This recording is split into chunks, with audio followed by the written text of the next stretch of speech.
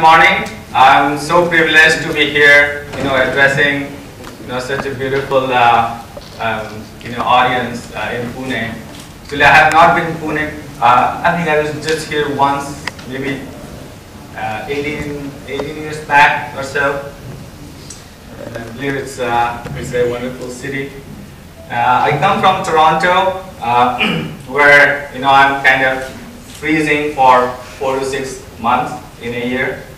And uh, when I uh, you know came in India, it felt really nice, really warm. Um, and uh, you know some of my friends were saying, you know, don't you feel hot here? I said, I'm enjoying the heat here. you know, I hardly get any heat there. So, so uh, yeah, I'm uh, I'm having a good time here. Uh, just carry on to um, you know other introduction here. You know, I I work with lots of large organizations, um, and in fact, you know, uh, during my career, I have always worked with big organizations. So, and when I work with them, I see a lot of patterns in these organizations, and uh, I would like to discuss about those patterns here. You know, maybe a lot of you might either be working with big organizations in their IT department or maybe you're consulting for big organizations. So in either case, what I'm going to talk about is going to apply. So I'm going to talk about something called the value stream mapping, uh, which kind of very well dovetails with what Marsha talked about, you know, that we don't focus, you know, we look at things more holistically, you know, we we try to drive value, you know, from customer perspective. So all these things definitely apply here.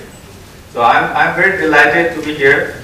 So the way this, um, this presentation is going to work is, I'm going to first, you know, show you how typically DevOps is implemented in large organizations today.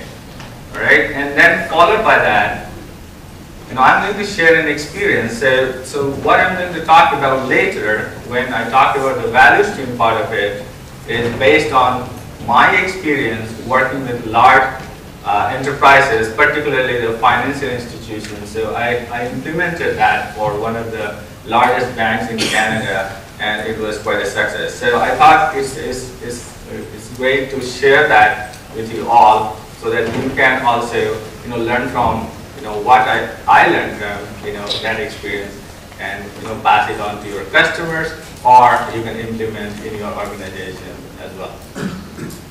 Uh, I understand there are a few students here, so for that matter, I'll probably cover some of the basics, uh, but maybe I won't go to the basic basic, but at least, you know, to a certain degree, I'll try to, you know, cover some of the acronyms or some of the, you know, concepts uh, about value stream. So um, let's dive into this. So if you have worked with big organizations, you know, this is kind of the iceberg, you know, but you see the dinosaur here? It's the dinosaur key. Okay, before we begin, I have a small goodie here, and this probably I'll hand out, you know, at the end. I'll probably ask a pop quiz towards the end, and whoever answers gets that. This is uh, Ferrero Rocher. Keep you interested. all right, so we all know that in large organizations we have a dinosaur city. What that means is, do we all know about technical debt? Yes. Yeah? All right, so have you heard of the term process debt? if you work with large organizations, or even in a medium-sized organization, you would realize that, you know, over a period of time, you know, new processes are added on top of the existing process. So it's kind of a layering over, you know, bunch of approvals that you need. You know, you have to fill this form. You have to, you know, have somebody assigned. You know, there will be a project coordinator. There will be a project manager sitting on top, and there will be a resource manager sitting on top. And you know, there are a whole bunch of layers that we build in large organizations as the organization grows. Because when the organization is small and lean, you know, they are they are much agile. And as they grow, they become more like a dinosaur. You know, they can move, but you know, they cannot move so fast. Uh, so over time, they don't only accumulate technical debts, which is quite, you know, probably you are all familiar with, you know, but they also accumulate a lot of process debt, you know, because they add lots of processes which are not necessary, you know, and they hardly get time to go back and look at those processes. So today we're going to talk a little bit from that perspective, you know, how we take a holistic look around the process, okay, and uh, you know, try to uh, use value stream to streamline the process. All right. So this is kind of a breed of, you know, uh, agile that we see in of organizations. Um, how many of you, I, I hope everybody is familiar with agile, right? Agile development. Are you familiar with this? Yes. yeah? Isn't it very common in big organizations? They start with this, you know, and what? They end with that. Very likely. Because, why? Probably I'll ask if anybody knows why. They start here, and they might be doing this over there, a bunch of automation over here, okay, but they may not be able to move beyond that. They may not be able to expand beyond that development. Maybe you can share a couple of reasons. No cross-functional teams. You do not have a team that can do everything, so you can't do it. Good point. Yeah. Very I good. think uh, what I have seen, you know, at a lot of places is people are forced to do agile. They don't have agile mindset, but they are forced to sit. you have to do it. So people present something, you know, they have to please their bosses. Yeah. and they come into the conclusion. Yeah, very true. Because agile sometimes becomes a passion, you know. Everybody is adopting agile, let's do it, right? And it comes from the, you know, the senior executive C class, you know, C-suite, without even understanding the urgency or the need of agile in their organization. Sorry, you had something to share. Yeah, I agree with him because uh, I faced this issue. In one of the team, I asked that in one sprint they are doing the development and in another iteration they are doing the testing and they are calling it as agile. so uh, I asked them, so the answer I got is client wants in that way only. so it is like client mindset is not clear, you know, not agile. So they have different perception about agile. That can be the you know, difference. Yeah, so I think we are all familiar. Yeah, sorry. Please. Yeah, because it's the, uh, due to the lack of communication with the operation team, even the operation team doesn't want to involve in all the phases. Like they want to spend, uh, spend just on the requirement gathering, and that's it. When we want to introduce in every phase, so that we can implement agile across uh, all phases, but they don't like that. They just like agile as a name set. Yes, it is. The testing teams are not involved during the requirement and analysis. And when they start involving also, they don't know what to do in those phases. So as they correctly said, the mindset is not there, so they don't know how to contribute towards it to make the other phases also agile along with the development phase. I feel the one of the main reason is priority prioritization. Many a times the other uh, teams have started with the requirement analysis and all that, but QA is still handling all these backlogs of the previous release. So if even if they want to uh, get involved in the initial stage, it is not possible because of the different priorities each stakeholder has. Yeah, absolutely. So all these reasons are valid, you know. And isn't it interesting that you open up agile book, you know, and you read all those nice definitions, you know, you know, delivering value to the customer, you know, reducing all the, you know, the lead time, you know, kind of, so, you know, having end-to-end visibility and all those good stuff. But when, when we get into practice, what happens? This is what happens, exactly. You know, and I have, you know, I've been consulting with a lot, of lot of uh, organizations, and I see that, you know, they are getting great at this, you know, and they're stuck with this for for years. You know, they do agile, but you know, as as all of you pointed out, you know, you know, there can be a mini waterfall within that agile framework. Right? So let's look at some of the reasons, you know, why. Sanjay, can I go back to the previous slide? Sure. So can we rename breed of agile in large organization instead of large project program? Ah, yes, it could be. Because organization, I don't think so is going to make any difference. It's a big organization or small organization. How you deploy the your program? Yeah, there, you, you ha- you have, your, your point is valid. The reason I put there for large organization is typically in large organization, you have lots and lots of layers and departments. So you cannot, even if you have a very, very small project, I have a executed project where the development would be just a week's development. But to deploy it into production, from end to end, it takes like months and months. You know, because it has to go through all those processes, you know, regardless. You know, even if it's small, whether it's a big project, you know, it doesn't matter. So if you take the other way, you know, example, let's say you have a small, like a very lean organization and they're executing big projects, maybe they're much more agile than, you know, bigger organization, even executing small projects. That was the, you know, line thinking behind putting it larger organization. So it's operational overhead instead of technical or Yeah, it's operational. methodology overhead. Yeah, operational process overhead, lots of process overhead. So that's where, that's what, uh, you know, I'm going to discuss about, you know, how, how we try to identify those, you know, and take a holistic look, not just automating, you know, not just gold plating that what we already have. And some of, uh, yeah, I'd like to share one story, you know, this, uh, uh, these are some of the typical, sorry. Just one question.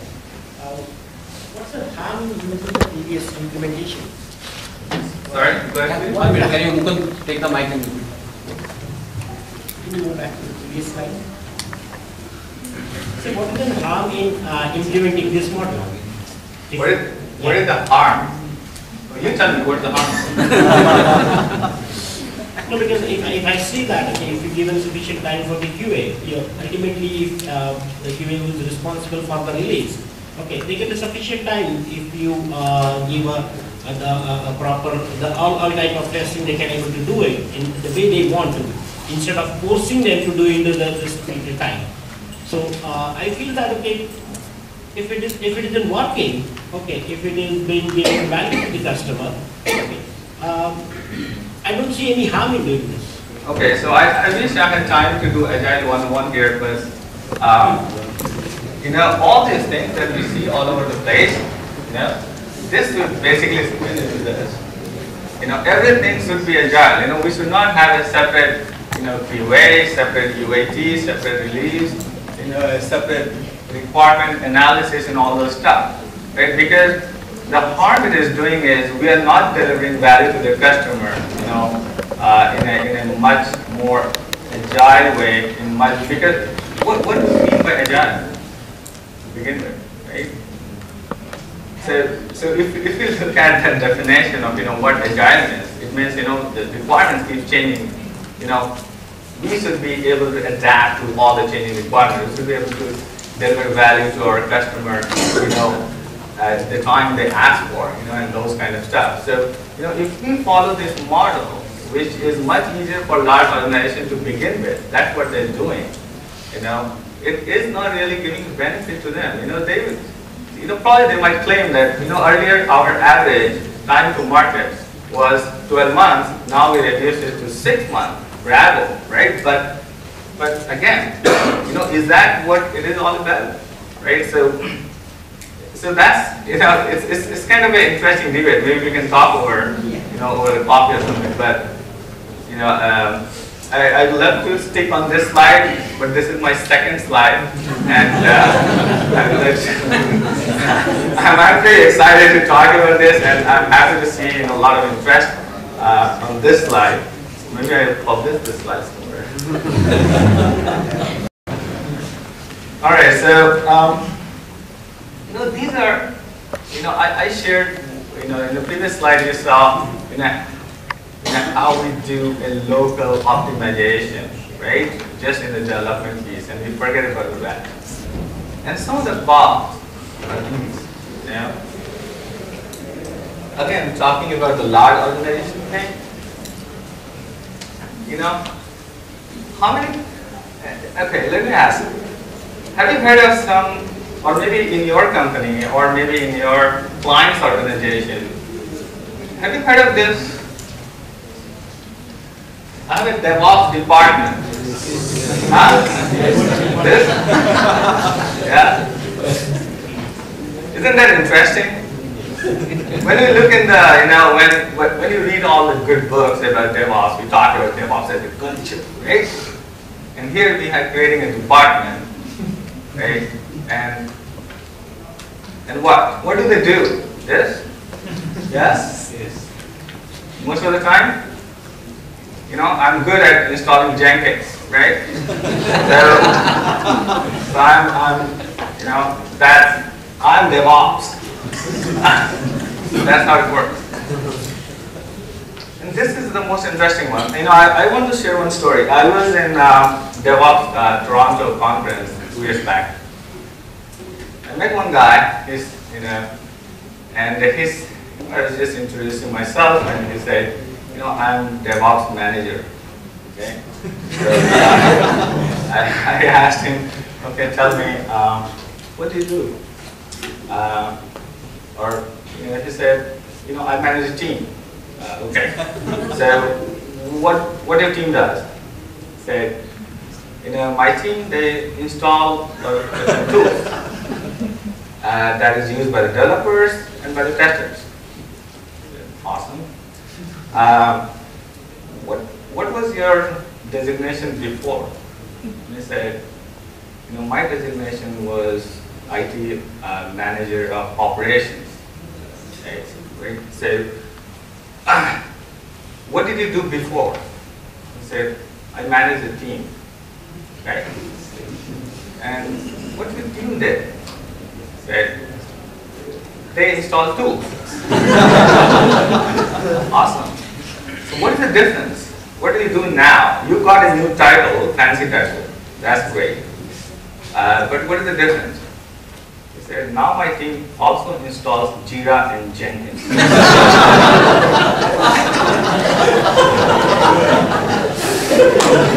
so uh, this is how, you know, unfortunately, lots of big organizations, you know, think they're doing. Probably, you know, you're, you're, you're laughing at but that's the fact. You know, and we are all accepting that fact, right? Because we believe that, you know, our clients are saying so, so that right. You know, or our executives are believing it, that this is the only way we can, you know, scale in a big organization, start from development. Because why are they doing so? You know, I'll give you another example. You know, I had, uh, you know, one of the VP who took over the DevOps responsibility, right? And uh, he was from the development side of the house, you know, because typically a lot of organizations, organizations will have a development house and operations and all those. So, what do you think that guy does? You know, that guy will operate in his own circle of influence. Right? That guy has no idea you know, how to manage the release, you know, how to ensure that the deployment happens properly in production. You know. So that person was solely dedicated to you know the development part of the things, you know, to having you know all the tools for the developers, you know, in the right place. So all those kind of stuff. So the same thing happens even for the people, or if you have a leaders on the other side of the house. You know, if, the, if we have a leader who takes over the DevOps responsibility on the operations side, who was previously doing operations stuff, what is going to happen? That person is going to work around his or her circle of influence. That's how it operates. You know, because they don't have control or visibility Uh, you know, end to end, you know, unless it goes all the way to the CEO. And the CEO doesn't have time to do DevOps, they've got a lot of other things to do. So these are some of the typical, you know, strategies a lot of companies use, you know, or I say, you know, abuse, right? It's not really used. So the, the fact is, you know, without all, you know, without having any clear visibility, you know, what they're doing, you know, I got this, you know, manager on this side, uh, another manager on the, on the other side of the house, and you know, they ask for funding, saying, you know, I need something to do my DevOps. You know, the other guy says, I need funding to do my DevOps. You know, everybody is doing that, but you know, there is there is uh, probably nobody who pulls, you know, puts all the puzzles together. That's the challenge with any big organization. Because everybody is focusing on their local circle of influence you know, and you know, believing that they are doing you know, DevOps. So, so that's, that's, that's what the, you know, the challenge is. So let's talk about now how do we get around that? Um, so, so the exam, uh, you know, the real life uh, experience that I had with one of the largest banks in Canada was, uh, you know, we had a process architect. Very few banks, they hire process architects, you know, to do DevOps. And the guy I worked with, he he never ever worked in IT. Never. He has no idea, you know, what a requirement specification document is. He has no idea what a test script is. He had tremendous experience working in manufacturing.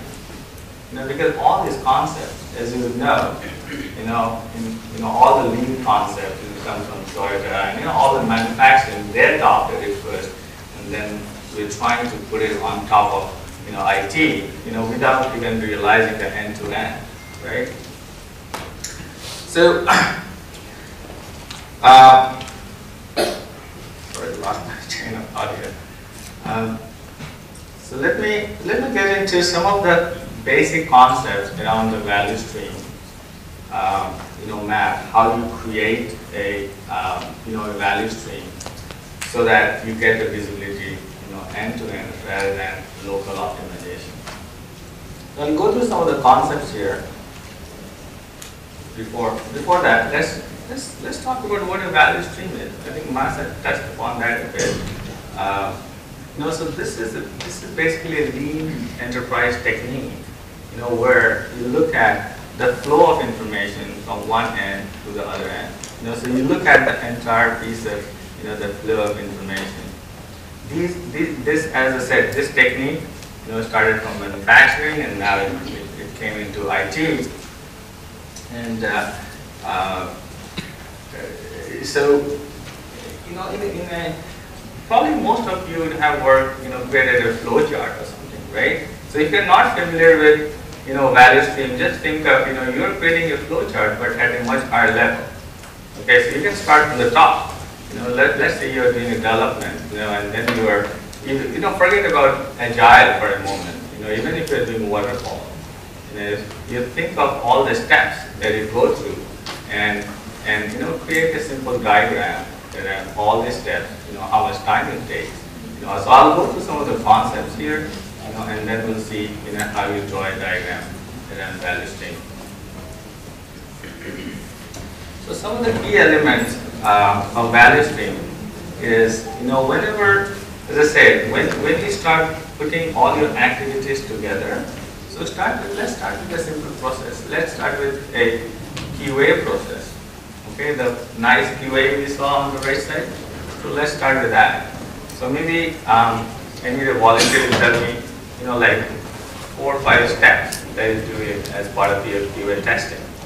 Step number one, Test, test plan creation or the test. All right, so maybe the test plan creation, step number two. So after you have the test plan, what do you do? Use test. Right. Okay, so great. There's no right or wrong answer. You know, it might depend on the project too, so that's fine. So you have, you know, test plan, you have the test cases. What is the third one? Environment, test environment. Okay, test environment setup, and then execution of test. Maybe the last one. I'm just keeping it short for now. The last one could be, you know, you just want to verify your test, know, and analyze it, right? So let's say you have all this steps.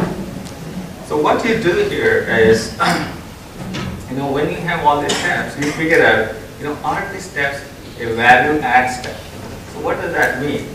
So value add is an, any activity, you know, that you do. This part is the most important.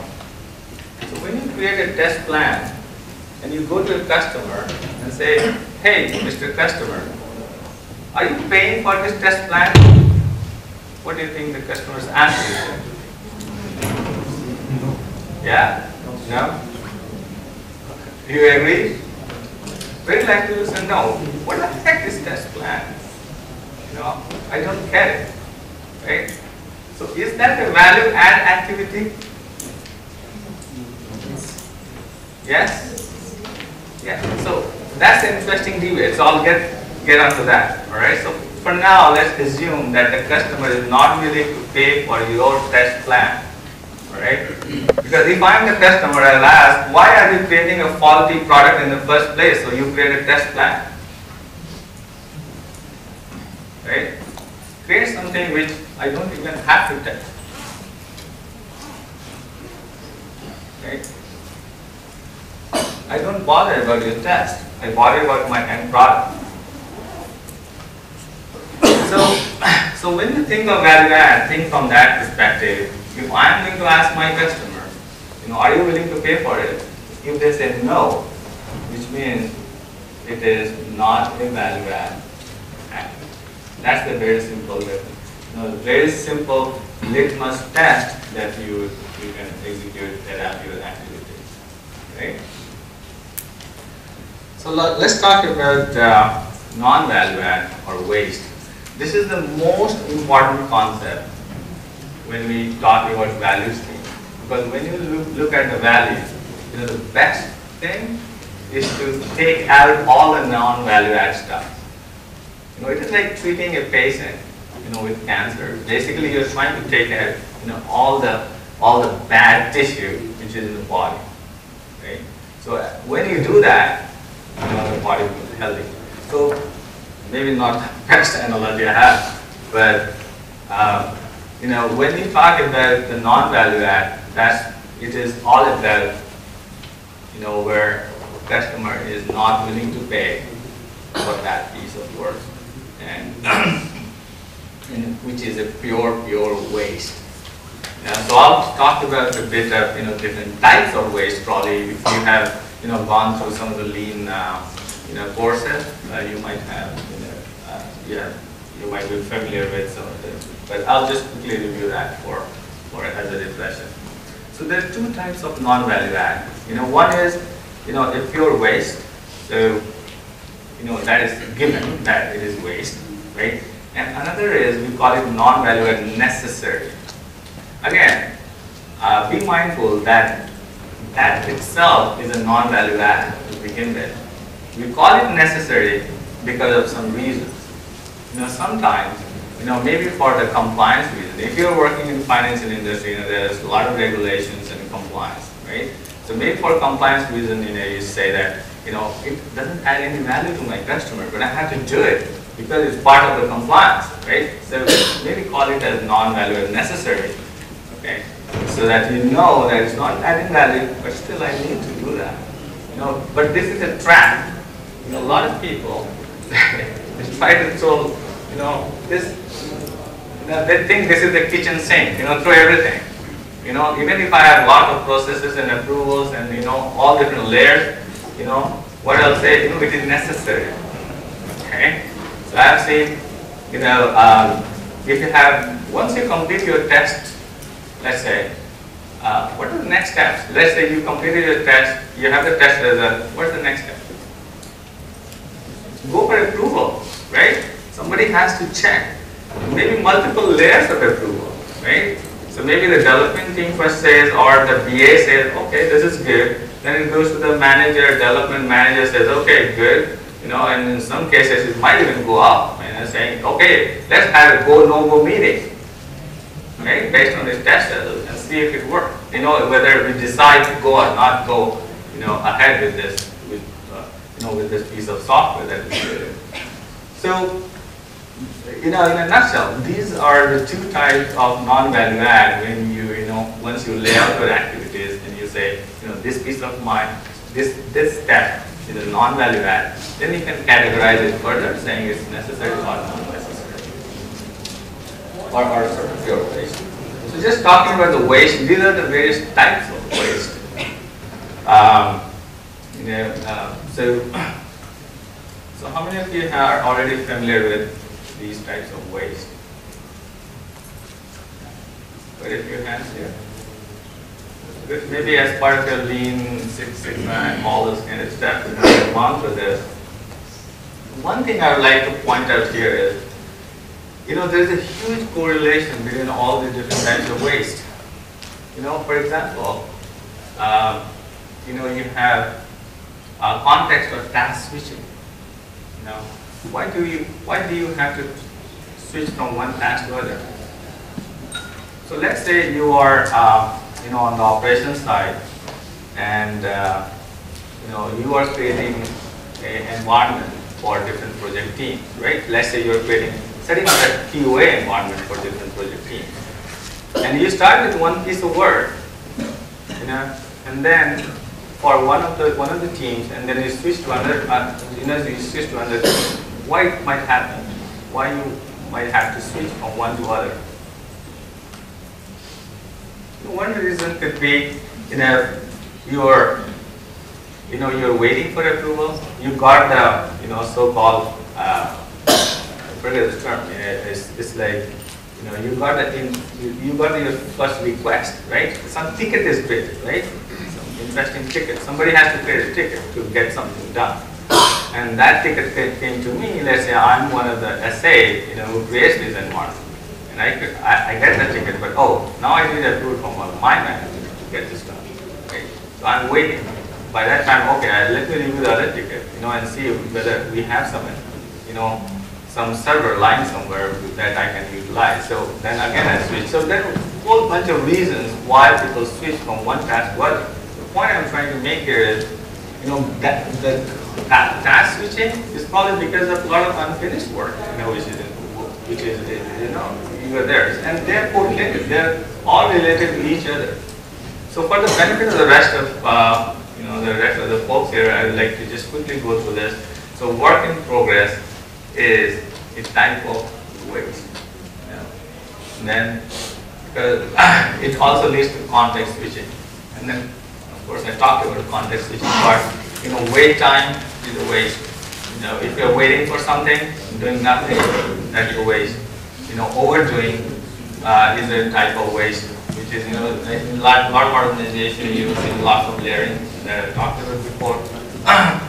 then uh, doing extra things is a waste. Sometimes you just develop something because you feel more comfortable doing it. You know, I learned a new technology, let me try that. Right? Which is not which is not needed by the customer. They never requested for it, but since I, you know, I, I, I love to you know code and uh, you know I I love to try new technology because I get you know my brownie point from my manager because I tried that, so I'll do it. Uh, handoff. This is a big one. This is very interesting. I'm going to talk a little bit about this later. Handoffs. Uh, you know, I have a very nice diagram and very close to you know that I did for you know, one of uh, my clients.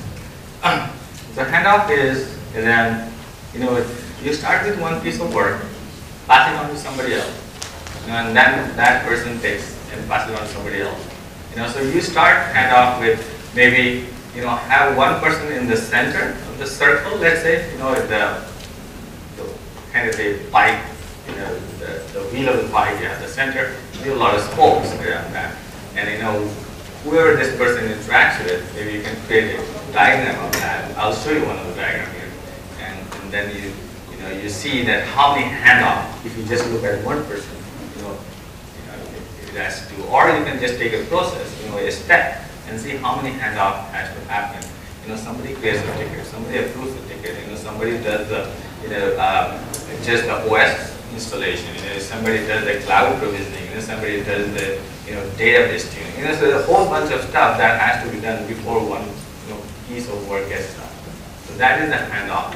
And I think somebody talked about, you know, being a self-contained autonomous team, you know, because you don't have that, and that's the fundamental reason, you know, why uh, we have so many handoff in organizations.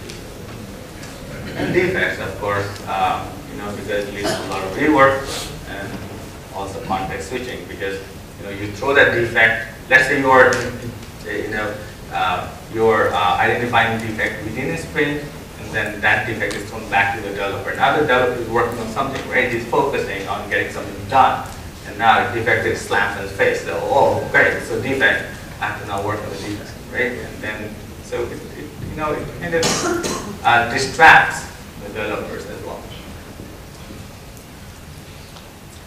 And this is one of the, this is not an industry statistic, this is based on my experience you know, with working with a lot of large organizations that, you know, I have observed up to 90%, you know, 90% of waste in, in, in a process. That's huge. That's huge. And you know the reason why lots of organizations don't realize that is because know it's kind of you know they live and breathe. You know it's kind of you know gradually they are um, you know these uh, these elements are added not all of a sudden. You know it was added gradually over time. So that's the reason that people don't realize that you know we are having this as a waste. How many of you have heard about the boiling frog story? Do you know about the boiling frog? Right? So it's like that, you know. Just for you know, I'll just quickly review that for, the sake of others. You know, you take a pot of water, you know, and put a frog in that. Frog be very happy dancing, and you know, you light a candle, you know, let the water. Uh, oh, sorry. Let me go that way. Um, so you boil the water, you know, boil a pot of water, you know, like boiling hot. Throw a frog in that.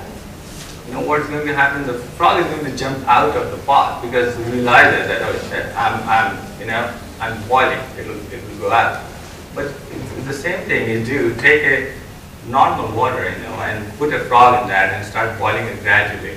You know, frog doesn't even realize that you know the water is heating up and it will die, you know, when the water boils. So, so that's what happens with lots, lots of big organizations because all these changes are in the process which are added over time. It's like that, you know, slow boiling frog. Don't realize that these changes are happening and it's layering on top. So they can't see, you know, they're blind to that. Uh, cycle time is pretty straightforward. This is all about you know the time takes to complete any activity, including any delay. Okay, which is a bit different from the effort. So effort is all around you know what is the actual work you know which is being done without any delay. So I've just put a couple you know, an example that you can show effort is less than 96 hours, uh, but you know cycle time could be days. So maybe you took 15 days to do the work, but actual, you know, the human effort that was required to do that uh, was 96 hours.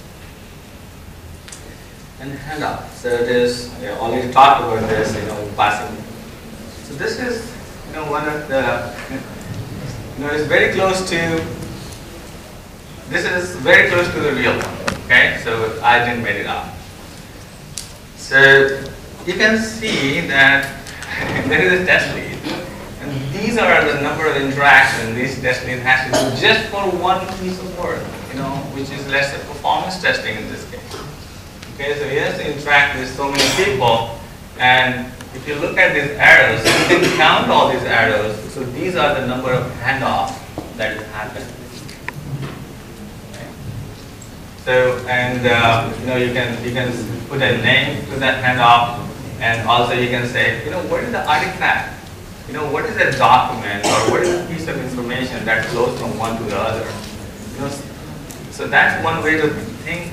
And when, when we talk about, you know, creating a value stream and, and a way to optimize, those are the things you want to look at. You know, are those necessary? You know, or is it a waste? And then how much effort is required? You know, many times we just, how much we, I think this is uh, so, tell me honestly, when you write an email to somebody, Okay? How many of you make sure that you don't copy people who don't, who you know that they're not going to act? yeah, we always copy them. Yeah, because, oh, our boss is watching me, right? Our boss is watching me, so let me copy my boss just to make sure that I'm working. Yeah? So that's what we do. And what is that? That's kind of waste. Why? Let's say I'm a boss. You know, I have like 20 team members working, and they're all copying all the emails that is sent out. what is going to happen to me? First, I'll, I'll start reading, maybe I'm new to the organization, I'll start reading all those emails and wasting my time, right? Or, you know, and gradually, what I'll do, I'll start ignoring those emails. But still, that email, it comes to my desk, I have to spend at least a minute, right? Just quickly skip through that email and to see whether there is something for me. That's again a waste. So, you know, if you look at, this is a very small example, but this is how we create waste unknowingly. And that's, that's one example of handoff too. This is an indirect handoff. You know, you're not directly handing off your work to somebody, but you know, just by means of CCing somebody, you know, without even realizing that, you know, you're wasting somebody else's time. All right, so let's uh, talk about how do we, since we learned about some of the concepts here around the DevOps, uh, sorry, uh, around the value stream map, let's talk about, you know, how do we do in a, um, you know, in an organizational setup. So first of all, you know, uh, as we talked about that, uh, here, probably I made the assumption that, you know, there is no DevOps, okay? So even if there's a DevOps, you probably see that slide number two. Right? Now, if that's the case, what you do is you create a value stream for the development part of it. Okay? So it's easier, you know, just do it bite size. Don't try to boil those. You know, don't try to do everything for the organizations. So stick with the development part to begin with. So that is your current value stream map. You know, because what is your current state? And when you outline that current state, identify all the waste, all the value adds, and all those kind of good stuff. And what you do is, you do your VSM uh, for, for the operations part. We're talking about DevOps here. So first you do for the dev, and second you do for the operations. And both, both, both of them are for current. Okay, so there's no brainer. It's, it's, it's, it's like, you know, you just and again, uh, I was giving the example of the process architect, you know, who had no idea about IT. You know what? He did a fantastic job. Why? Because he was not blind to himself. Because he came from manufacturing background, so he was pretty much questioning everything. Which was frustrating me. But at the same time, you know, it was making me realize, you know, to rethink that, oh, yeah, this is a waste. This is a waste. This is a waste.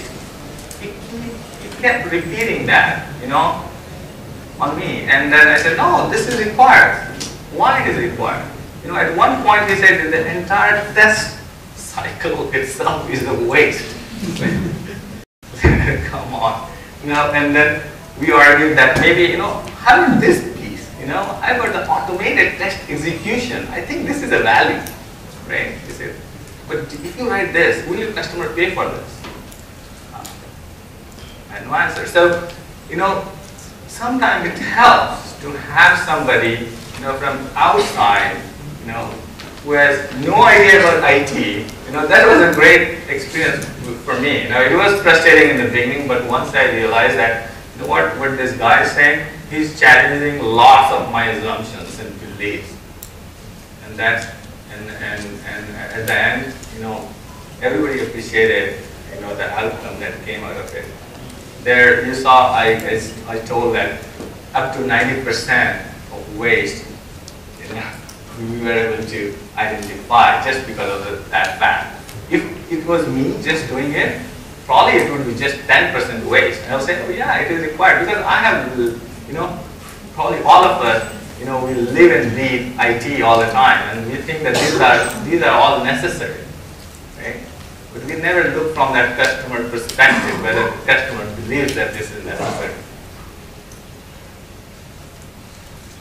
And then the, the third but the most important step is to create a value stream for the future state. When you create this future step, you see the dev and ops are merged together.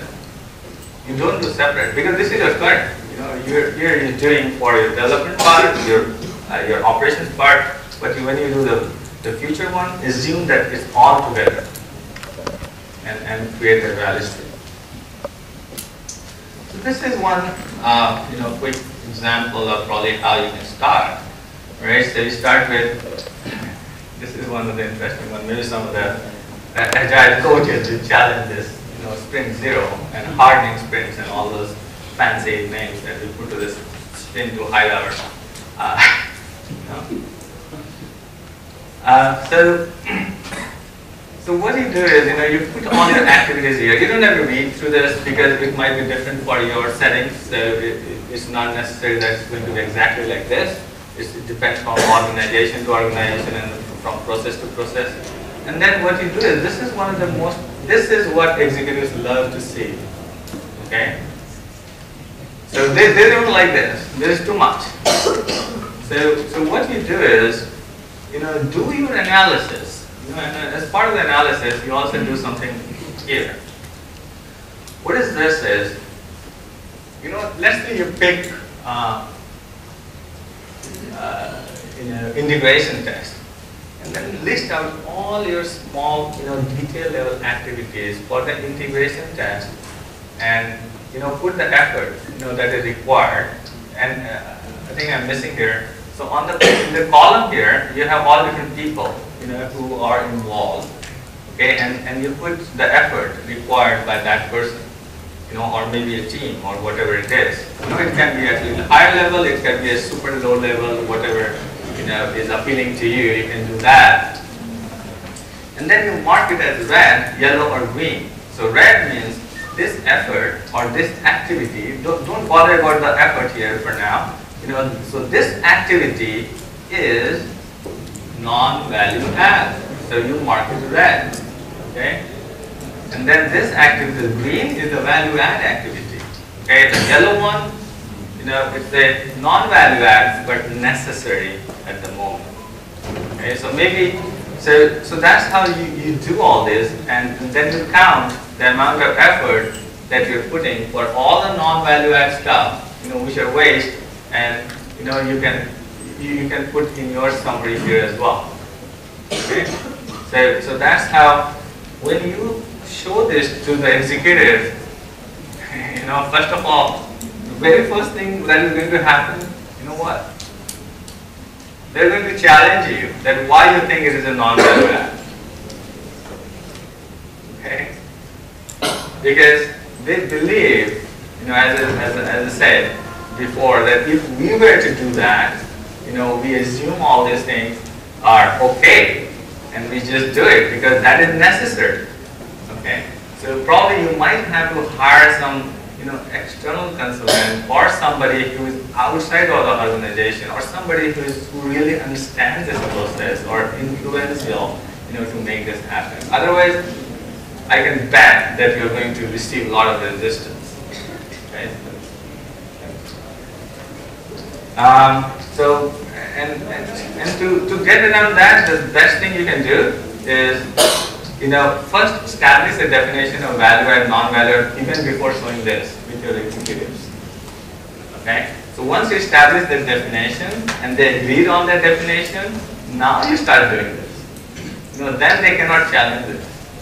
Okay, but if you start showing this, then, then they are going to challenge it because they, they think, oh, am I not doing the right job?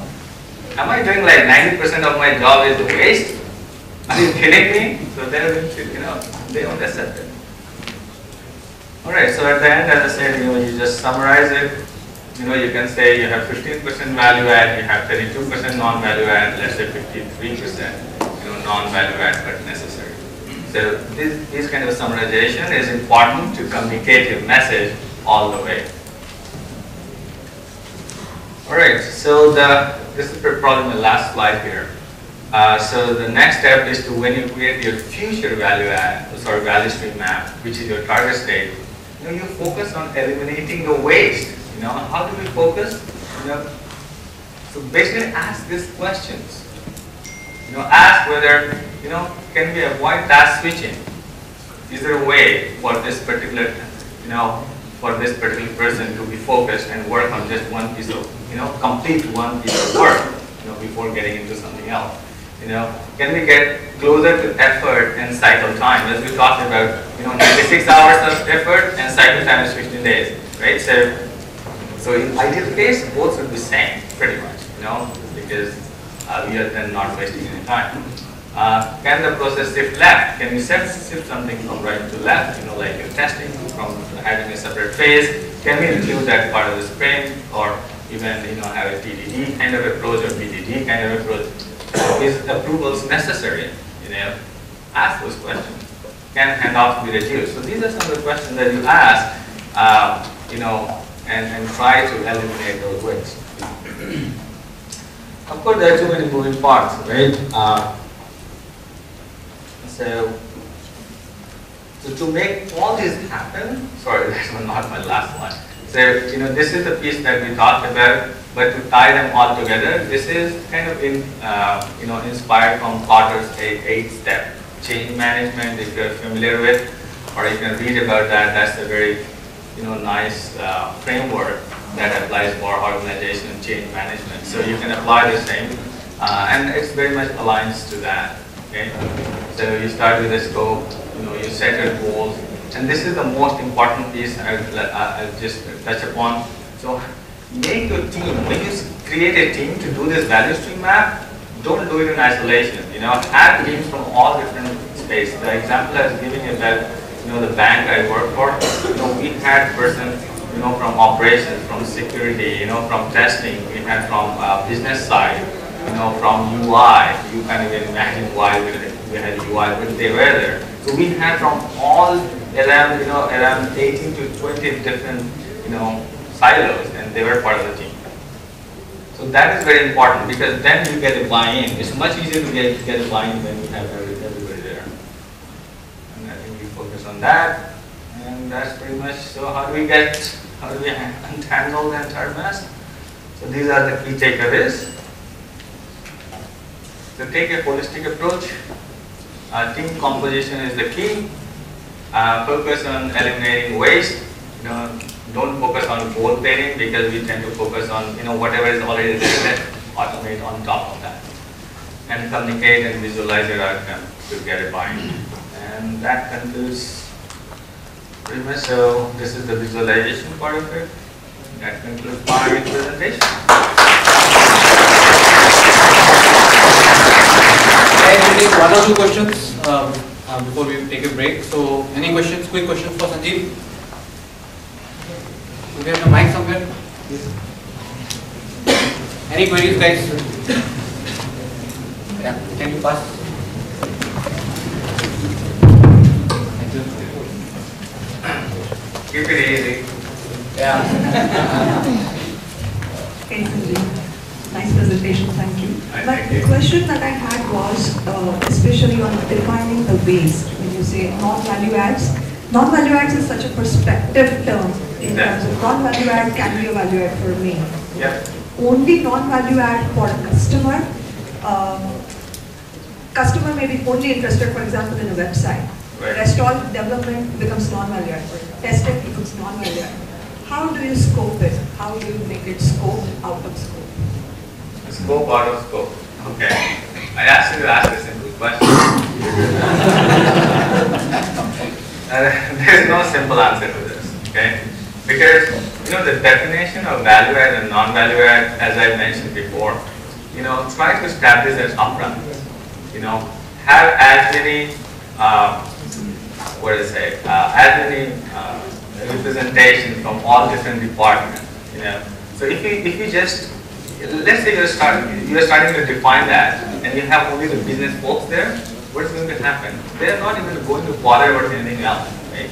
And if you have only the operations guys, the same thing is going to happen because they will work only within their circle of influence, you know, whatever they believe.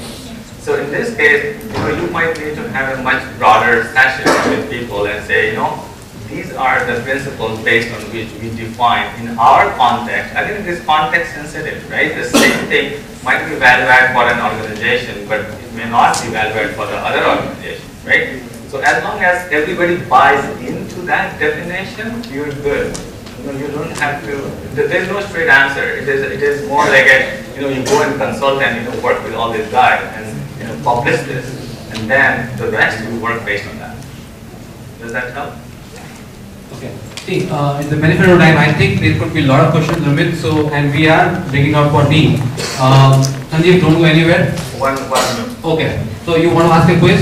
yeah. Okay, one question from Sanjiv before we take a break. Sanjiv, all yours. Okay, so my question is, what, what word I used the most during my presentation? I mean, I mean, you know. You know.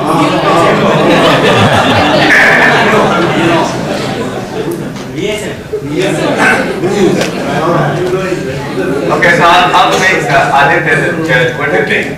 I can't be a judge because everybody is saying you know and I can't pick up somebody who, only one person saying that. You got to pick Sanjiv, this is your task. Oh, that's difficult. Oh. All right. Waste, what we said, but what the messaging is. Who, who said waste? Oh, I see. Oh, that's over here. Okay, I'll, I'll, I'll give it to him. Which one? Whom?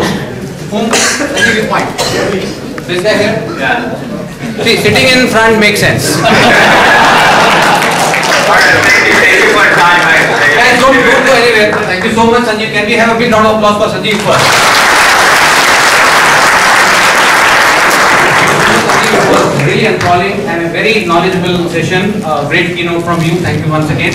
Quick announcement, guys. Can we have your attention before you move out for tea break? One, uh, after this, there are four parallel tracks, and the parallel tracks uh, are outside. So all four parallel tracks are not. There is no nothing happening in this room now.